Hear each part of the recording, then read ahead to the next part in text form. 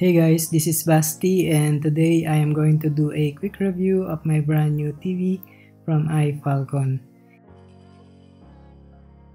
Ito yung bago nilang S52 series and what I have here is yung 40 inches na variant. Shoutout pala kay Kuya Reggie Rodrigo ng TCL.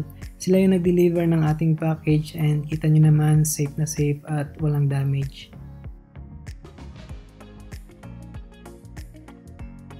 So, i-unbox na natin yung ating TV. Guys, if hindi kayo familiar sa brand ng iFalcon, under siya ng sikat na TV brand na TCL kaya siguradong high quality pa rin yung ating television.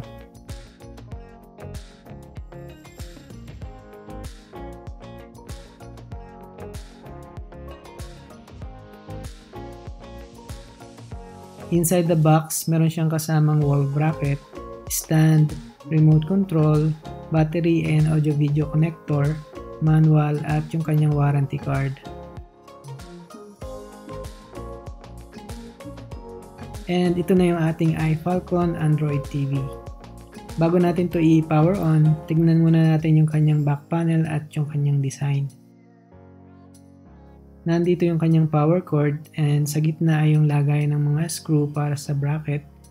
And on this side ay yung kanyang mga port Meron diyang USB, LAN, coaxial, optical, HDMI, audio-video input at yung kanyang audio jack.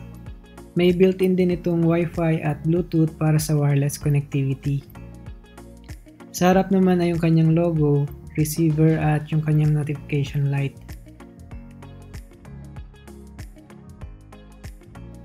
And ito naman yung kanyang Bluetooth remote control na gustong gusto ko kasi medyo malaki yung buttons. So, i-turn on na natin yung ating TV.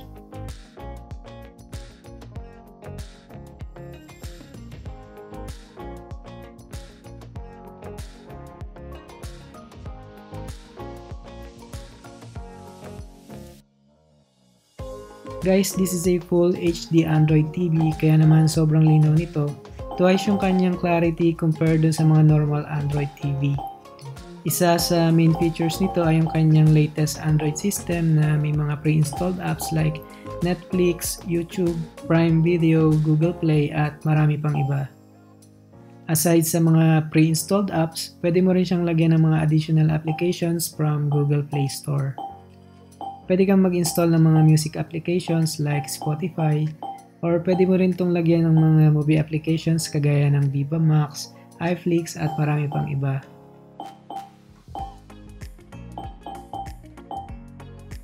Meron din itong built-in Chromecast kung saan pwede mong i-project yung screen ng iyong smartphone or tablet sa TV. Currently, naka-mirror yung aking Android tablet sa ating screen.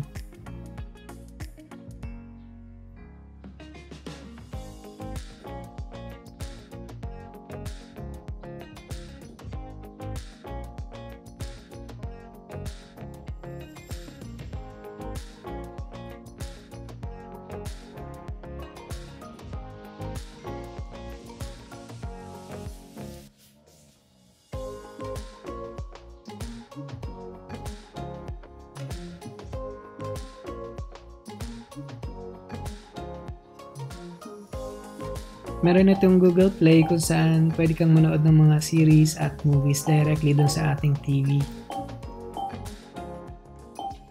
Try natin i-play isang movie dito sa aking library. Another excellent feature nitong iFalcon ay yung supported niya yung HDR10 display at yung Dolby Atmos sound kung saan na-enhance yung picture quality at sound quality ng ating TV.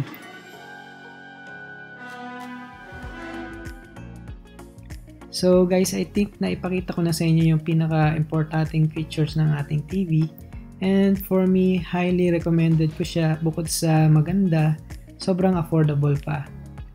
So if you are interested, you can get this TV sa official store ng ROA sa Lazada. Uh, mabibili mo siya sa halagang 9,999 pesos during sa 4-4 deals ng ROA sa Lazada. Check nyo na lang yung link sa description box para sa iba pang detalye. So that's it for today. Again, this is Basti and thank you for watching. See you on my next video.